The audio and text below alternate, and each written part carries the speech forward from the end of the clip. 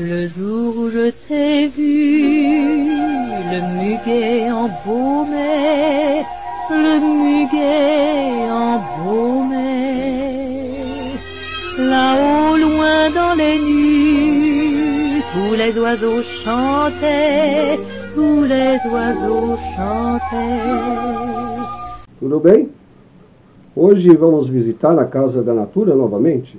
Esse perfume eu já andei fazendo testes sobre ele e vamos ver o que é que eu estava pensando a respeito e o que é que eu penso hoje.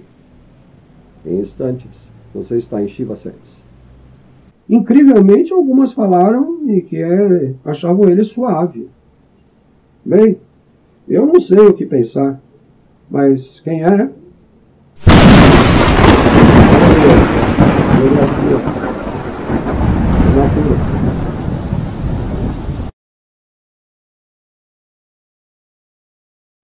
Como pode ver, observei nele uma verdadeira trovoada.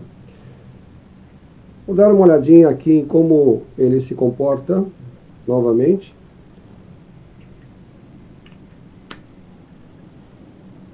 Então, esse perfume, ele tem um caráter um pouco diferente dos outros. Na primeira vez que estava fazendo os testes com ele, senti uma dor de cabeça se aproximando e tal, e realmente é, ele se comportou assim, devido à minha condição, é, não muito agradável, apesar de eu gostar das notas que ele contém. Aqui o que eu observo é que ele abre expansivo, é um perfume assim expansivo em si, né? aberto. Ele tem um certo verde claro, né? adstringente. Para mim, nesses primeiros minutos, como um perfume floral verde. Depois ele continua adstringente, né? um certo toque frutal, talvez, mas muito mais, eu entendo assim, para as pessoas que gostam de perfume floral. Né? Uh, cerca de 30 minutos, você vai ter nesse perfume alguma coisa ainda de adstringência forte dentro dele, ao ponto de, se você chegar muito perto, assim com proximidade, seu nariz começar a arder um pouco. Ainda é um perfume é, em 30 minutos que ele não permite muitas aproximações é, no sentido assim de ao meu nariz eu tenho que estar um pouco longe tá bom? O mesmo se processa dentro do lado verde dele que também é, é forte né? o aroma me lembrou de certa forma um pouco daquelas atmosferas existentes na barbearia. Mas não é num aspecto assim pejorativo da coisa. Mais para frente, por volta de uns 30 minutos, ainda se sente esse aspecto da adstringência forte. Né?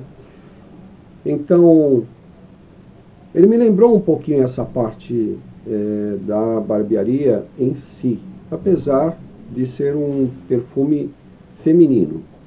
Mas ele tem um coração, eu diria rosa, né?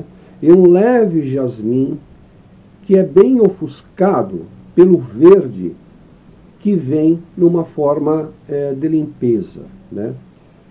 E assim ele continua uma hora, né?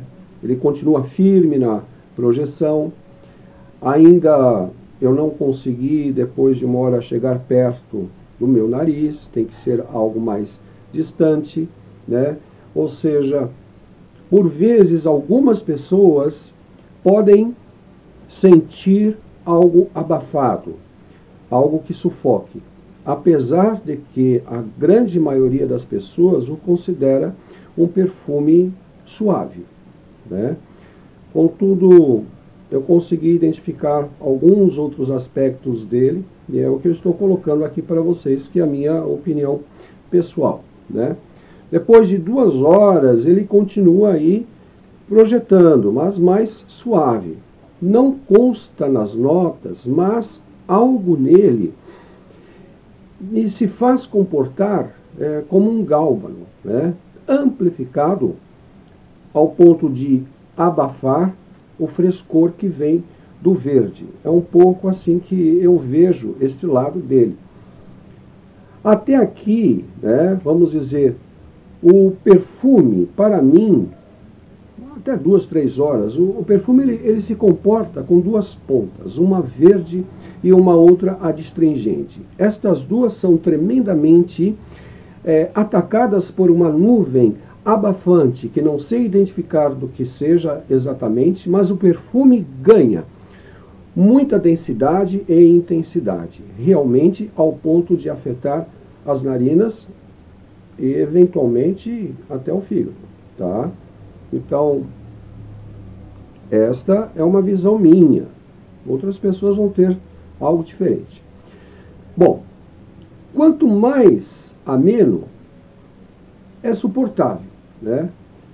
É, diria assim, depois de umas três horas, aí ele passa para alguma coisa mais suportável. Até então, é gostoso, mas devido à forte insistência em duas pontas que eu observei, achei ele um pouquinho maçante. Encobre, até então, esta parte mais floral que ele tem.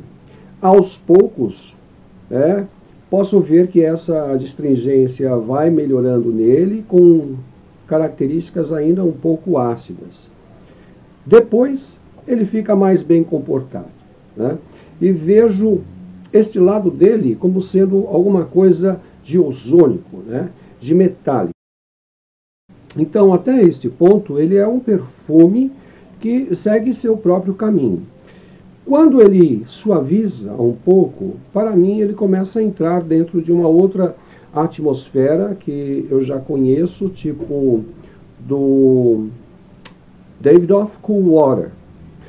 Me lembrou bastante a partir assim do meio até chegar aí no fim dele, quando ele começa a morrer. Só que ele demora bastante, então é um perfume assim que tem uma certa é, vida útil, forte e projetando por umas três. Então foi um bom assim é, ranking em termos é, da evolução dele. Só que ele não é um perfume para se pensar assim, vai virar o dia, vai virar a noite, não, não, não vai ser bem assim. Né? Algumas pessoas vão ter é, um pouco mais, outras um pouco menos, mas é nisso que ele vai ficar.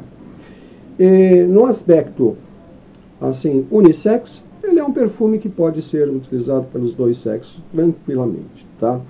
Mesmo porque, conforme disse, eu acho que ele pega uma atmosfera de um perfume que fez muito sucesso, né? que é o David Off. Cold Water, masculino, que é o que eu estou mais familiarizado. Em tudo por tudo, daqui ele tem uma boa, vamos dizer, é um visual bom que ele tem, feminino em tudo, né? Muito legal. Lembra a cintura, né, de uma mulher. É isso que eu vejo nele. Agora, é, para as pessoas que gostam deste lado, né, mais atmosférico, né, é, de trovoada mesmo. Quem, não sei se você já esteve perto de um raio, espero que não, mas é, vamos dizer, a ionização que dá no ar, ela emite um, um certo odor, né? A gente chama de um odor ozônico, exatamente devido à ionização do ar. Então, ele pega este, este aspecto, né, devido aos ingredientes que ele tem, moléculas tal, então lhe dá essa impressão. Em tudo por tudo, é um perfume que você pode utilizar em diversas ocasiões. Muitas moças reportam como sendo o perfume da mamãe e tal, mas perfume não tem idade. Se você gosta dele, use-o. Né? É, não é um perfume ruim, não. Eu apenas que tive aquele probleminha da dor de cabeça, mas talvez tenha sido acentuado pelo aroma, mas ele é um perfume hiper versátil. Para o verão, você poderá utilizá-lo. É. Verão, talvez no outono também, primavera. No inverno acho que não seria assim tão, tão legal. Mas, eventualmente, naqueles tempos assim de chuva de verão e tal, perfume para passeio, perfume casual, tá bom? Não é perfume extremamente clássico. Bom, gente, é isso que eu tinha que falar a respeito do nosso biografia da natureza. E conto com vocês também, um convite, para participarem do Perfume Point. Lá, onde você faz novas amizades e falamos tudo a respeito de perfumes.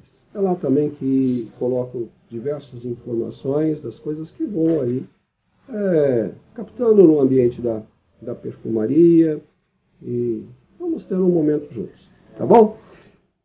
Grande abraço.